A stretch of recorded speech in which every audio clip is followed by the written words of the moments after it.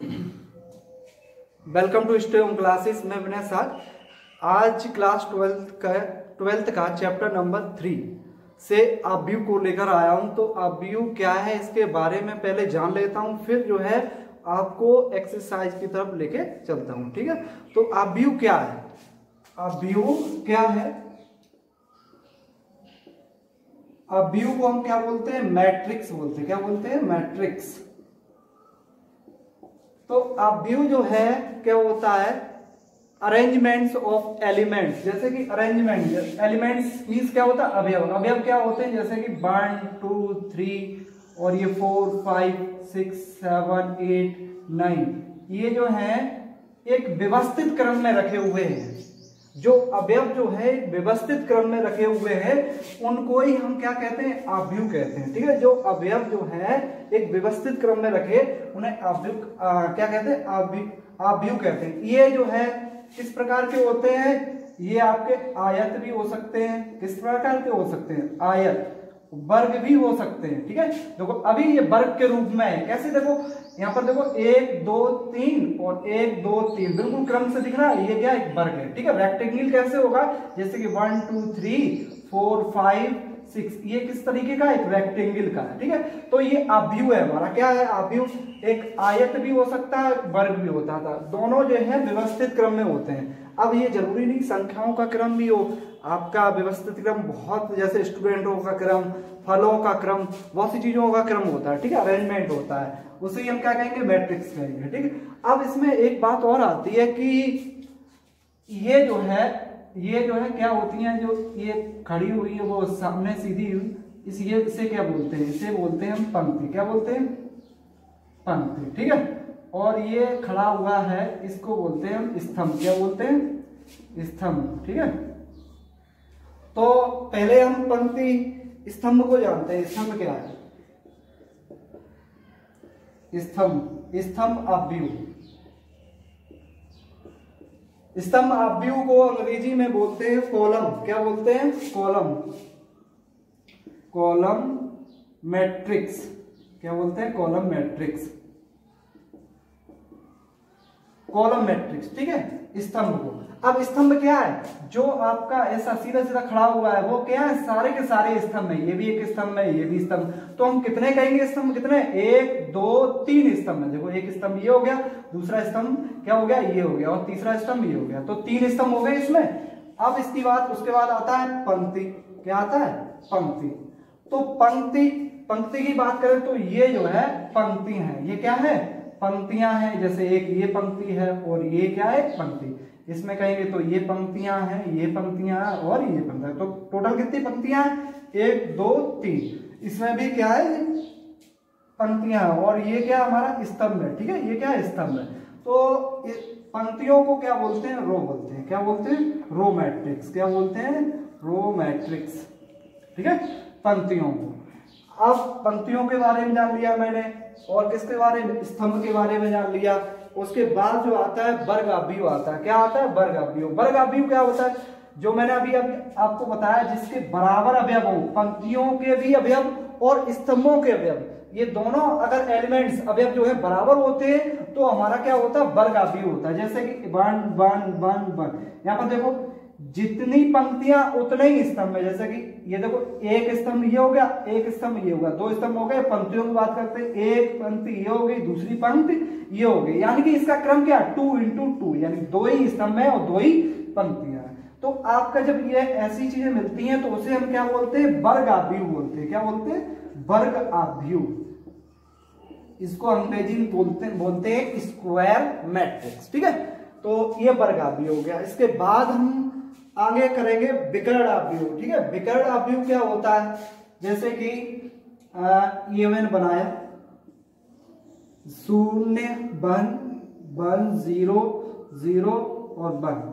इसमें देखो, विकर्ण आव्यू वन और वन दे रखे हैं या टू भी दे सकते हैं। जो यानी कि सभी अवयव सभी अवयव शून्य हो और जो विकर्ण का अवयव हो, वो शून्य ना हो विकर्ण अवयव कहलाता है। क्या कहलाता है? विकर्ण अव्यू कहलाता है। क्या कहलाता है?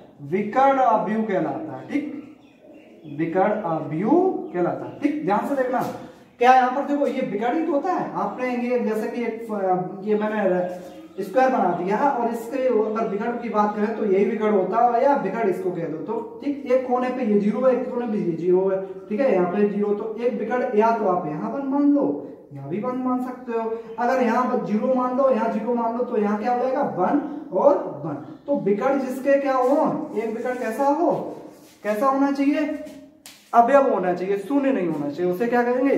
बेकार अवयव कहेंगे, ठीक है? उसके बाद कहेंगे हम तत्समक अवयव। जो आपका वेरी इंपॉर्टेंट है कि तत्समक अवयव क्या होता है? इसको हम अंग्रेज़ी में बोलते हैं आइडेंटिटी मैट्रिक्स क्या बोलते हैं? आइडेंटिटी मैट्रिक्स तो आइडेंटिटी मैट्रिक्स के बारे में जान लेते हैं। तो क्या बोलते हैं? सत्समक अवयव सत्समक अवयव तस्मक आदमी ठीक है? आप, अब ये क्या होता है तस्मक ठीक? तो तस्मक में कोई अंतर नहीं होता।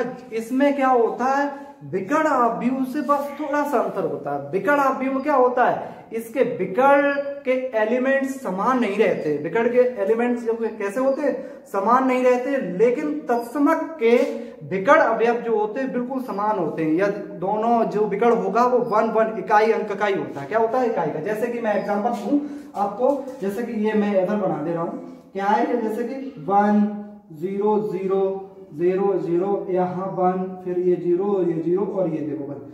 ये देखिए, ये ही तो है हमारा, विकर्ण है, लेकिन ये क्या है, इकाई अंक का है। तो जब इकाई अंक का आपको मिले, उसे क्या कहेंगे तस्मक भी कहेंगे। इसको अंग्रेज़ी बोलते हैं आइडेंटिटी पर हम इसे प्रदर्शित किससे करते हैं? आई से। तो इसका आव्यू में बहुत बड़ा महत्व है तस्मक आव्यू का ठीक है? बहुत बड़ा महत्व है। ये मैं आपको जो है, इससे काफ़ी सारे क्वेश्चन मिलेंगे और तस्मिक आव्यू का यूज़ भी सबसे ज़्यादा मैट्रिक्स में होता है, ठीक? तो एक क्वेश्चन आपका वेरी इंपॉर्टेंट बनता है तस्मक आव्यू से। तो इसको अच्छे से समझना, इसका विकट इकाई अंक का होता है, ठीक है? और सारे अवयव जो है, शून्य होते हैं, ठीक? तो इसके बाद हम आगे करते हैं बात शून्य अवयव की ठीक है? शून्य आव्यू तो शून्य आव्यू क्या होता है? सीधा सीधा आपको डायरेक्टली समझ में आ रहा होगा कि शून्य क्या होता है? जिसके सभी अवयव शून्य हो। वो शून्य आव्यू होता है। जैसे कि सभी एलिमेंट्स, जैसे कि मैं बना दे रहा हूँ, ये आव्यू बना हुआ है। Zero zero zero zero. आपको ये सभी शून्य दिख रहे हैं? तो इसको क्या कहेंगे? शून्य आव्यू कहेंगे। क्या कहेंगे? शून्य आव्यू अब इसका एक दूसरा नाम भी है। इसका एक दूसरा नाम भी है, उसको बोलते हैं रिक्त आभ्यू। क्या बोलते हैं? रिक्त आभ्यू। रिक्त आभ्यू, ठीक है? इसका दूसरा नाम है। क्या नाम है? रिक्त आभ्यू। अंग्रेज़ी में कहेंगे तो नल बोलते हैं N U double M null matrix और इसे ज़ीरो ठीक है? ज़ीरो कहेंगे, ठीक है? तो ये आपकी तो बेसिक नॉलेज हो गई। अब जो है हम एक्सरसाइज की तरफ़ चलते हैं तो क्वेश्चन नंबर फ़र्स्ट करेंगे, ठीक है? क्वेश्चन नंबर वन, क्या है? अव्यू ए बराबर आपको दिया गया है। अव्यू में क्या है? एक, टू, और स्तंभ में है दो, पैंतीस, और रूट तीन फाइव दूसरे स्तंभ में फाइव माइनस टू वन तीसरे स्तंभ में nineteen five by two minus five और ये चौथे स्तंभ में माइनस सेवन ट्वेल्व और ये सेवन ठीक है? तो ये हमें दे रखा है। अब के लिए ज्ञात कीजिए। तो पहला हमारा क्वेश्चन इसमें पूछा गया है, क्या पूछा गया फ़र्स्ट में?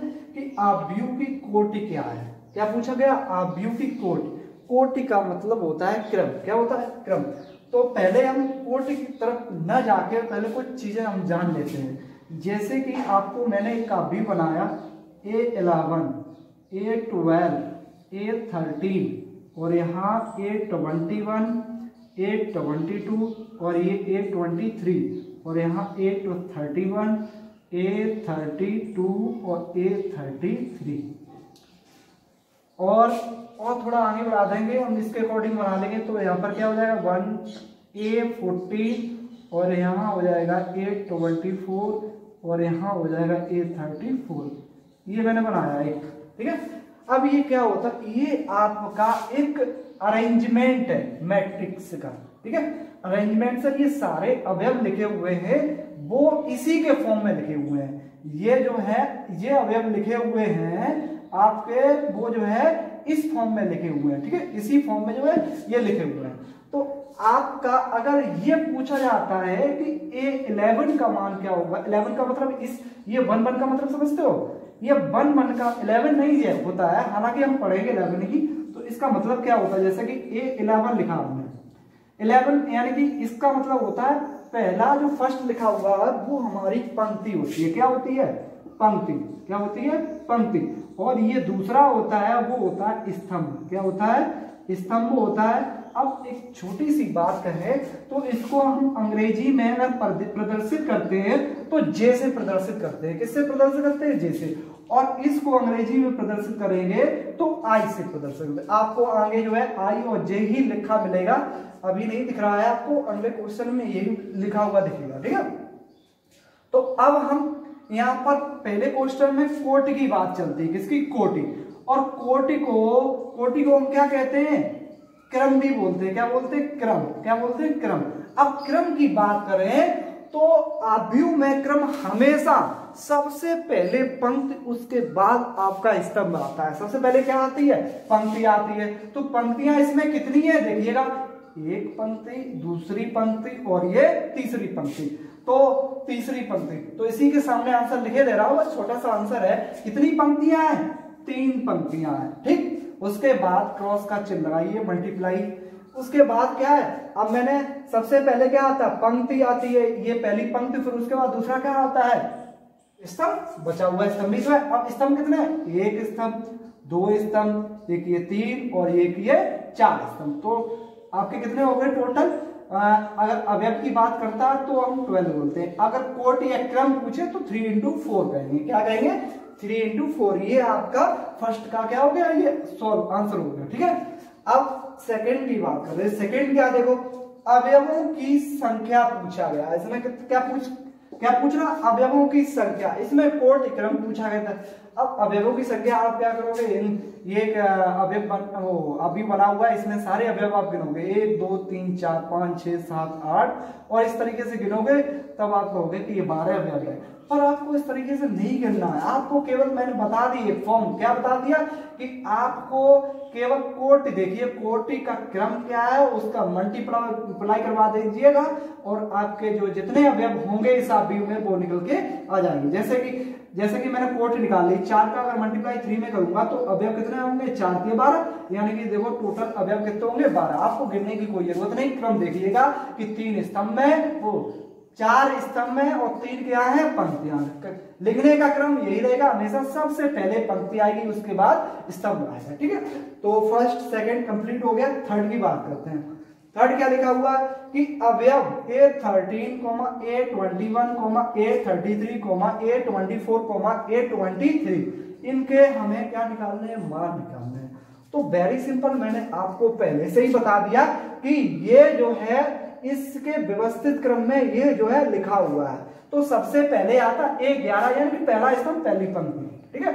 यहाँ पर होगा पहला स्तंभ वो पहली पंक्ति दूसरा स्तंभ, यहाँ देखो ये तीसरा स्तंभ चल रहा है तो पंक्ति ये पहले ही चल रही है तो वन यानी समय वन वन आ रहा है। यहाँ पर देखो दूसरी पंक्ति चल रही है, दूसरी पंक्ति जो है तो दो दो दो दो समय आ रहा है। स्तंभ की बात करते हैं, ये पहला स्तंभ आ रहा है, ये दूसरा स्तंभ, दो स्तंभ आ गया, ये तीसरा स्तंभ, तीन आ गया, और ये चौथा स्तंभ, ये तो चार आ गया। ठीक, समझ में आ रहा? उसके बाद, अब यहाँ पर देखो देखो कि क्या लिखा हुआ ए थर्टीन तो ए तेरह का मान निकालना, यानी पहली पंक्ति का तीसरा स्तंभ का अवयव देखना यहाँ पर ये क्या, पहली पंक्ति होती है?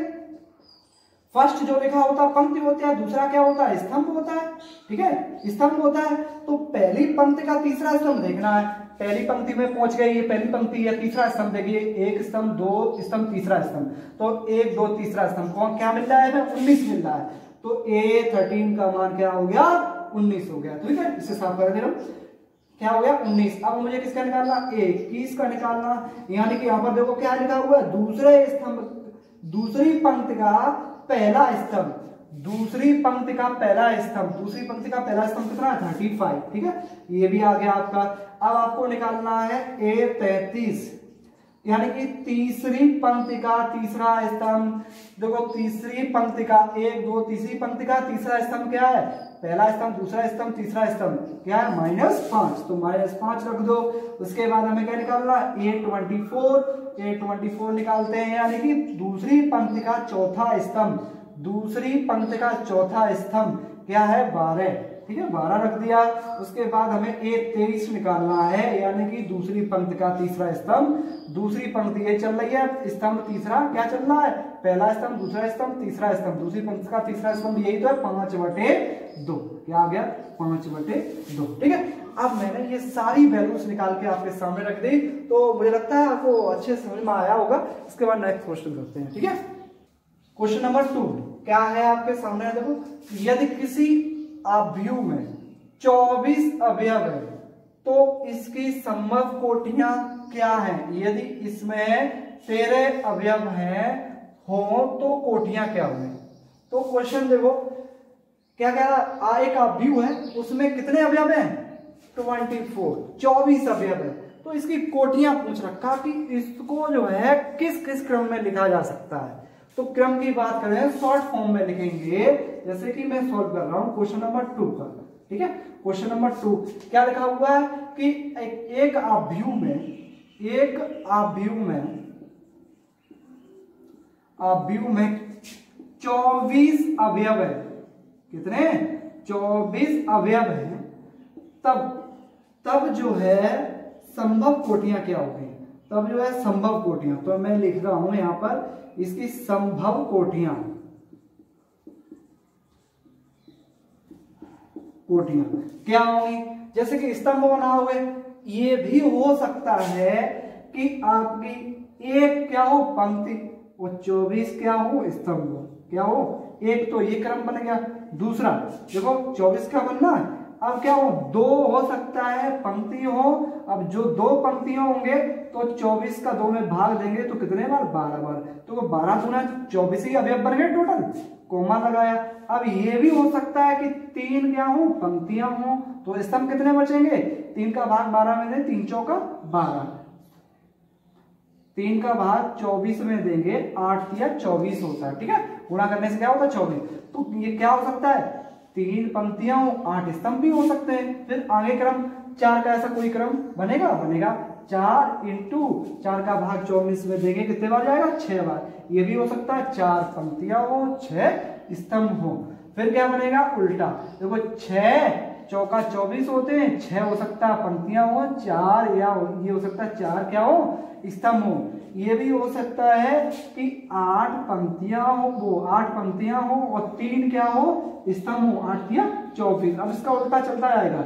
ये भी हो सकता है कि बारह पंक्तियाँ हो और दो स्तंभ हो और ये भी हो सकता है कि चौबीस पंक्तियाँ हो और एक क्या हो? स्तंभ। ठीक है? तो ये आपका क्रम बन गया। एक, दो, तीन, चार, पाँच छ सात, आठ। ठीक है? ये तो पूरा कंप्लीट हो गया। बिल्कुल सेम जो है, इसी तरीके से आपको क्वेश्चन नंबर थ्री को करना है। क्या है इसमें? देखो, आप थोड़ा सा क्वेश्चन नंबर सेकंड में देखेंगे तो यहाँ मैं 24 तक तो मैं कर चुका हूँ। 24 की समूह कोटियाँ देख चुका हूँ। उसके बाद इसमें थोड़ा सा और कहा गया है कि यदि इसमें तेरह अवयव हो, कितने? तेरह अवयव हो तो इसकी कोटियाँ क्या होंगी? तो इसकी इसकी बात करते हैं। तो इसकी संभव कोटियाँ क्या होंगी? तो आप जानते हो कि इसका तो सिंपल है कि तेरह इंटू वन या तो तेरह पंक्तियाँ हो सकती हैं, एक स्तंभ हो सकता है, या ये हो सकता है क्या? कि एक पंक्ति हो, तेरह स्तंभ। इसके अलावा इसके अलावा आपका कोई भी, कोई नया फैक्टर नहीं बनेगा, ठीक है? तो ये आपका क्वेश्चन नंबर टू सॉल्व हो गया। अब क्वेश्चन नंबर थ्री की बात करते हैं तो क्वेश्चन नंबर थ्री में देखिएगा, क्या लिखा हुआ है यहाँ पर? अठारह अवयव। तो इसकी संभव कोटियाँ बताइए। तो आप जानते हो, क्या लिखोगे पहले? वन इंटू एटीन फिर दो नेम अठारह, फिर तीन छक्का अठारह होता है, फिर क्या होता है यहाँ पर? अब तो होगा ही नहीं। अब होगा क्या? नौ दूना अठारह, ठीक? फिर उसके बाद क्या होगा? अब उल्टा हो जाएगा सीधा सीधा क्या होगा? नौ दुना अठारह लिख चुके हो आप। अब लिखोगे थ्री इंटू वो सिक्स इंटू थ्री ठीक है? अब बिल्कुल जो है उल्टा हो जाए। जैसे कि इसका भी मैंने किया, एक बार सीधा कर दो, फिर एक बार उल्टा कर दो। जैसे कि अभी नौ को दूनी अठारह लिया तो इसका उल्टा ये हो गया, इसका उल्टा ये हो जाएगा, और इसका उल्टा क्या हो जाएगा? अठारह इंटू वन ठीक है? उल्टा हो जाता है। यही आपका क्या हो जाएगा? क्रम हो जाएगा। अब पाँच के करते हैं क्रम तो क्या होगा? पाँच इंटू वन होगा। इसका उल्टा क्या हो जाएगा? वन इंटू पाँच, और इसका कोई फैक्ट कॉमन फैक्टर नहीं होगा, ठीक है? तो क्वेश्चन नंबर तीन, बिल्कुल सेम आपके सेकंड के तरीके से करना है, ठीक? अब इसको नोट करिएगा, उसके बाद नेक्स्ट करूँगा। क्वेश्चन नंबर फोर क्या है? एक टू इंटू टू आप व्यू ए बराबर दिया गया आपको ए आई जे की रचना। कीजिए, जिसके अवयव निम्नलिखित प्रकार से प्रदर्शित है। ठीक है? तो आपको तीन क्वेश्चन दिए गए हैं, आपके सामने हैं, और आपको इनको कैसे सॉल्व करना है, चलो। फ़र्स्ट को हम सॉल्व करते हैं। फ़र्स्ट, हमारा क्या है? ए आई जे बराबर क्या है? आई प्लस जे बटे के नीचे टू का होल वर्ग ठीक है? अब इसको हम कैसे सॉल्व करेंगे? देखो, मैंने अभी आपको बताया था कि आई क्या होती है हमारी पंक्ति और जे क्या होता है? स्तंभ। तो इसका क्रम क्या है? टू इंटू टू का क्रम है। यानी कि एक वर्ग व्यू है और उसका क्रम क्या होता है? ए वन होता है, फिर ए वन टू होता है, यहाँ टू वन होगा और यहाँ टू टू होगा। ठीक है? देखो, ग्यारह बारह, फिर इक्कीस बाईस सीधा सीधा दूसरा स्तंभ। पहली पहली है, यहाँ पर देखो दूसरा पंक्ति हो गया, पहला स्तंभ हो गया।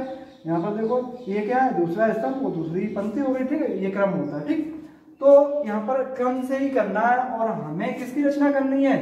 एक ए बराबर आई जे की रचना करनी है, यानी कि ए ए क्या होता है? एक आव्यूह की रचना करनी है हमें, ठीक? तो आव्यूह कैसे निकालेंगे? तो मैं लिखता हूँ सबका, एक बार क्रम से निकालता हूँ। तो यहाँ सॉल्व लिखा है। यहाँ लिखा व, ए। और इसका मतलब क्या होता है? One one. पहला क्रम है, यानी कि वन वन इज़ इक्वल यानी कि वन का मतलब ये आई है। आई के स्थान पर क्या लिखेंगे वन प्लस फिर जे के स्थान पर भी क्या दे रखा? वन। यानी कि वन। और ब्रैकेट टू बटे के नीचे टू इसका क्या और वर्ग है तो यहाँ देखेंगे वन और वन कितना हो जाएगा? टू और टू का वर्ग क्या हो जाएगा? चार। बटे के नीचे कितना? दो। से काटेंगे तो कितना आएगा आपका? दो आएगा। यानी कि ए इलेवन का मान कितना आया? दो। अब हमें किसका निकालना? ए ट्वेल्व का निकालना। तो यहाँ लिखेंगे वन टू ए ट्वेल्व लिख लिया। उसके बाद हम स्टार्ट करेंगे ये क्वेश्चन में क्या दे रखा है यहाँ पर? आई प्लस जे तो आई हमारा वन प्लस जे टू है। और इसका क्या है? वर्ग और पूरे बटे के नीचे क्या दे रखा है? दो। बराबर का चिन्ह लगाया इसको इसको जोड़ेंगे तो तीन तीन का वर्ग क्या होता है? नौ। बटे के नीचे क्या आ गया? दो। यानी कि ये बारह का मान निकल के आ गया। अब हमको निकालना है सॉरी क्या निकालना? ए इक्कीस का मान निकालना है। तो ये क्या? ए इक्कीस मैंने लिखा, बराबर का चिन्ह लगाया। और यहाँ देखिएगा, क्या लिखा हुआ? आई प्लस जे आई के स्थान पर दो है प्लस जे के स्थान पर कितना है? यहाँ देखो वन है, बटे टू है, इसका वर्ग करेंगे तो हो जाएगा तीन, दो और एक, तीन। क्या हो जाएगा? दो और एक, तीन हो जाएगा। तीन का वर्ग होता है कितना? नौ, और पूरे बटे के नीचे दो हो जाएगा। ठीक है? और इसके तो एक किस निकाल लिया अब हमें कौन सा निकालना है? ए बाईस निकालना है, ठीक है? ए बाईस निकालेंगे A twenty two A twenty two है। तो करेंगे देखो आई के स्थान पर कितना है? ये टू है प्लस यहाँ पर देखो आई के स्थान पर टू है और जे के स्थान पर भी कितना है? टू बटे के नीचे टू इसका पूरे का वर्ग बराबर।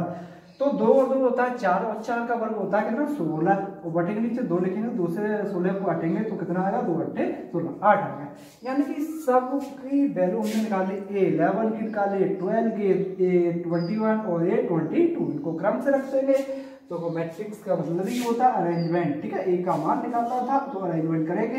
एक ग्यारह की वैल्यू दो ए बारह की वैल्यू नौ बटे दो फिर इक्कीस इक्कीस नीचे होता है, इक्कीस की वैल्यू कितनी है? नौ बटे दो।